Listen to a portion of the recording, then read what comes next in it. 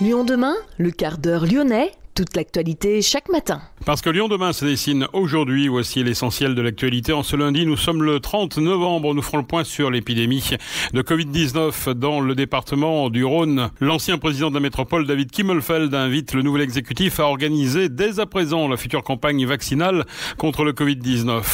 L'appel de Laurent Wauquiez qui, dans une tribune avec d'autres élus et professionnels, demande à Emmanuel Macron la réouverture en décembre des remontées mécaniques. 7500 à 13 000 personnes ont défilé à Lyon entre la place des terreaux et Bellecour samedi pour protester notamment contre le projet de loi de sécurité globale. Réaction dans cette édition de Mouloud Daïssou qui est journaliste à France 3 et délégué CGT. Un actionnariat participatif pour Pétavi. Cette entreprise Riard a été créée il y a 150 ans. Elle est aujourd'hui un fleuron du secteur des travaux publics.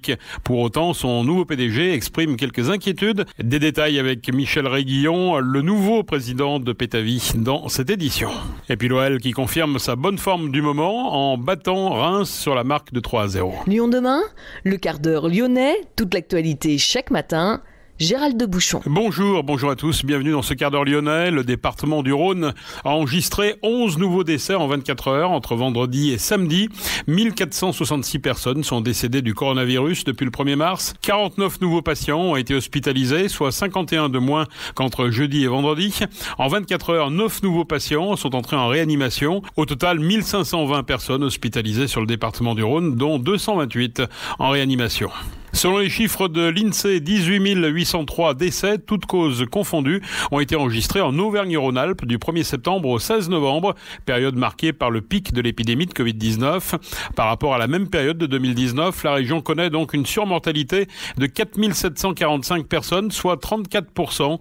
Auvergne-Rhône-Alpes est la région où la surmortalité est la plus forte, devant la Guadeloupe et Provence-Alpes-Côte d'Azur. Au niveau national, la hausse est de 14%, représentant une surmortalité d'un peu plus de 17 900 personnes.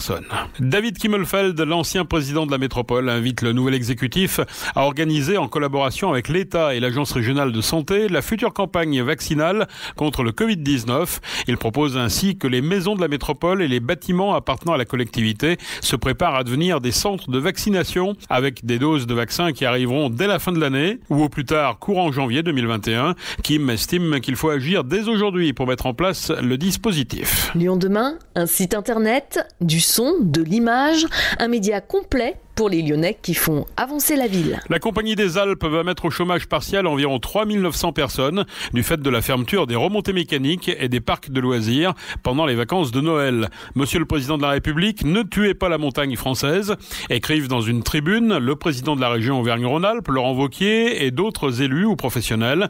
Il demande à Emmanuel Macron la réouverture en décembre des remontées mécaniques. Des pays comme l'Autriche ou la Suisse ont décidé d'ouvrir leurs pistes, bien qu'enregistrant une baisse de l'incidence du coronavirus. La Haute-Savoie et la Savoie restent cependant les deux départements les plus touchés par l'épidémie. Entre 7500 et 13 000 personnes ont défilé à Lyon entre la place des terreaux et la place Bellecour samedi pour protester contre le projet de loi sécurité globale.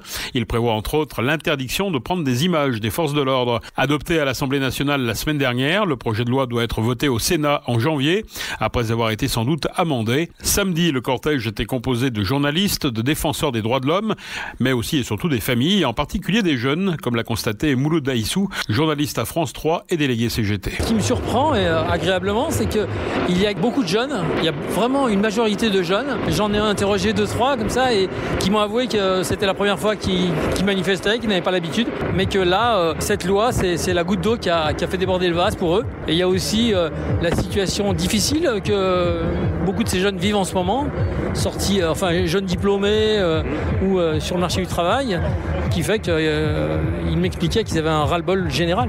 Qu'est-ce qui fait que cet article est si controversé bah, L'interdiction de, de, pouvoir filmer les forces de l'ordre. Je veux dire, la, la, la, protection des policiers est essentielle, comme euh, tous les autres citoyens, mais il faut que la liberté de la presse euh, ne soit pas remise en cause. Et ce projet de loi, c'est une, une, atteinte à la liberté de la, la presse et aux, aux droits, aux, aux droits de l'homme et, et, du citoyen qui, qui, font partie de la France. Quoi. Et on le voit plus encore cette semaine avec les événements euh, à Paris.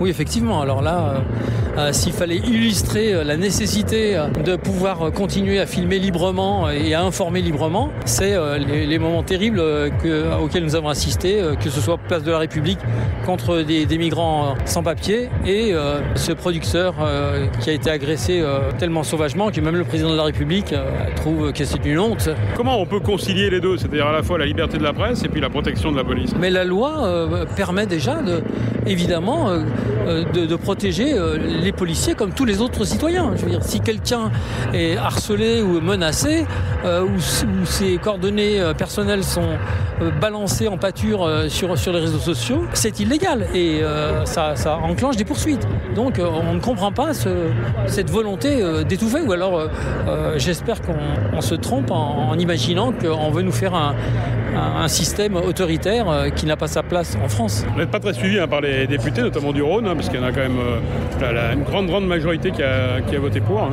Je, je pense que les mouvements de la société civile et même au sein du monde politique vont en faire réfléchir quelques-uns à mon avis. Mouloud Aissou, journaliste à France 3 et délégué CGT, trois policiers ont été blessés lors de cette manifestation.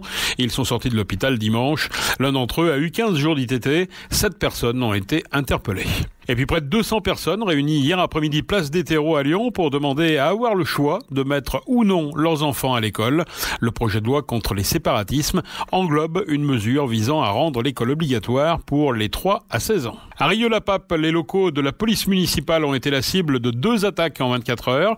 Un petit groupe d'individus encagoulés a essayé de s'en prendre aux locaux de la police situés rue Jacques Prévert vers 18h samedi. Une douzaine de véhicules de police ont convergé vers les lieux. Notez que dimanche soir, toujours à la même heure, les locaux de la police municipale ont fait à nouveau l'objet d'une nouvelle attaque, un déluge de tirs de fusées pyrotechniques et de mortiers. Lyon demain, les Lyonnais vont vous surprendre. Un actionnariat participatif pour Pétavi, cette entreprise Riard créée il y a 150 ans, est aujourd'hui un fleuron du secteur des travaux publics. Elle emploie 110 personnes et son nouveau PDG n'est autre que Michel Réguillon, chef d'entreprise reconnu à la tête du groupe éponyme dans le Nord-Isère. Il s'est associé avec plusieurs cadres de Pétavi pour le rachat du capital à Bruno Moine, lequel avait rendu à l'entreprise son indépendance après avoir passé 10 années au sein du groupe Spibatignol. Pétavi réalise 75% de son chiffre d'affaires, 18 millions, dans la pose de canalisation. C'est une société réputée dans le secteur des travaux publics, mais le nouveau patron entend apporter sa touche personnelle. Il souhaite accélérer dans les énergies vertes.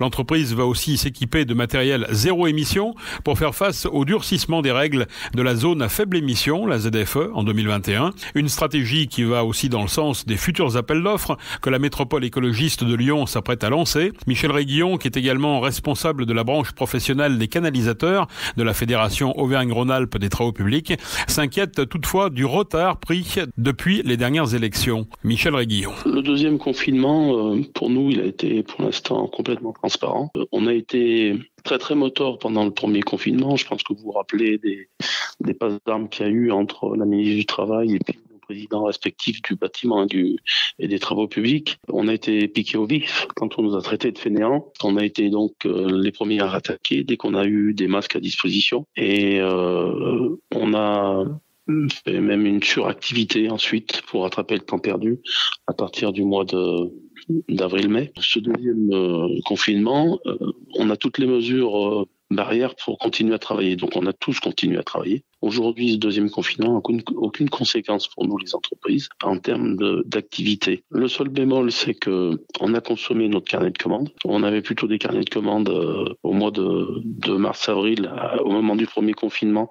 On avait plutôt des carnets de commandes de, de 8 mois. Et puis, ben, malheureusement, depuis le mois de mai qu'on a attaqué à travailler, on a tous euh, consommé une grande partie de ce carnet de commandes. Et aujourd'hui, ce qui pêche, c'est les appels d'offres. On est dans un rythme avec une baisse d'appels d'offres de l'ordre de 40%. Par rapport à l'année passée à la même époque. L'urgence pour nous, c'est le redémarrage des appels d'offres. Donc le redémarrage des appels d'offres, ça passe par une volonté des élus de relancer les opérations. Et on s'est retrouvé, bien, puisque les élections municipales ont été décalées, on s'est retrouvé avec des, des gouvernances dans les collectivités qui ont été mises en place uniquement en septembre fin septembre même. Donc le temps que les gouvernances se mettent en place, au moins 50% des, collectivités, la gouvernance en plus a changé. Donc le temps qu'ils se mettent en route, on s'est retrouvé dans une situation compliquée dans les collectivités avec euh, des projets qui sont pour certains stoppés, d'autres pas réenclenchés et pour d'autres, plus grave encore, pas de PPI. PPI, c'est la programmation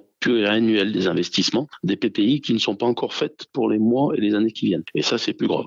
Aujourd'hui, on a des, des sociétés, et là je parle au nom de, de la profession des travaux publics, puisque je suis en parallèle administrateur à la FRTP, Fédération régionale des travaux publics, et je suis également euh, délégué régional pour les canalisateurs Donc là, je parle au nom de toutes les sociétés. On a des sociétés qui sont en difficulté parce qu'elles ont plus du tout de carnet de commande. Et euh, le premier trimestre de l'année 2021 s'annonce dramatique pour notre profession s'il n'y a pas aujourd'hui une prise de conscience des collectivités. Je cite en exemple euh, sur le Grand Lyon, euh, il y a quand même 22 maires qui se sont réunis pour faire un courrier au président de la métropole, nouvellement élu, pour lui dire qu'il y avait urgence de programmer cette PPI et qu'il y avait urgence de lancer des opérations pour ben justement euh, euh, l'ensemble des sociétés qui travaillent par la commande publique, que ce soit le bâtiment ou les travaux publics. Nous, on fait partie des entreprises. Aujourd'hui, si on a du travail, il n'y aura pas de casse sociale. Et par contre, si on n'a pas de travail, il y aura de la casse sociale. Et cette casse sociale va s'additionner à celle qui est déjà en place. Donc aujourd'hui, il y a tous les outils, il y a un plan de relance. Il faut simplement, que tout le monde se mette au travail, les élus, les techniciens, pour sortir les opérations et lancer des opérations pour alimenter sur le premier trimestre, voire le premier semestre de 2021, absolument tout le monde des travaux publics et du bâtiment. Alors vous qui êtes très axé sur les, les énergies vertes, par exemple, euh, sur, euh, sur l'environnement, on va le dire, hein, euh, l'installation des nouveaux exécutifs, que ce soit à la métropole ou à la ville, vous laisse quand même espérer? Oui, ça nous laisse espérer. De toute façon, on n'a pas le choix que de s'adapter, nous. Le président de la métropole de Lyon, la, la semaine passée dans la presse, a dit plus de gasoil à l'échéance à l'horizon 2026. Donc on va être obligé de s'adapter, on va être obligé de, renouveler une flotte de véhicules à faible émission. On, est déjà parti, on est déjà, on est déjà en route, les entreprises de TP dans ce sens-là, et Pétavi également. Euh, moi, je viens de lancer un projet RSE en interne dès le deuxième mois de, de présence pour justement travailler sur tous ces projets de, de flotte, des projets d'organisation du travail pour coller en fait à, à cette réalité euh, d'aujourd'hui qui est une, une condition écologique qu'il va falloir absolument euh, mettre en place, y compris dans nos, dans nos sociétés. Oui, on peut être inquiet quand on, a des exécutifs qui sont verts, on peut être inquiet parce qu'on peut aura moins de chantiers. On, va pas faire des pistes cyclables de toute manière. La collectivité, euh, la métropole du Grand Lyon a annoncé aussi des tramways.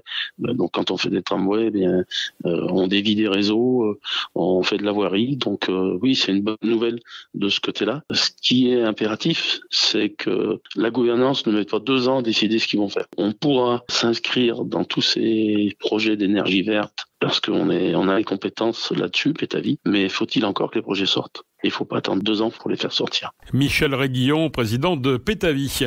L'entreprise Ekeli, spécialisée dans les machines industrielles, a été elle victime d'un incendie hier soir à Dardilly. Sur 1500 mètres carrés, 600 mètres carrés sont partis en fumée.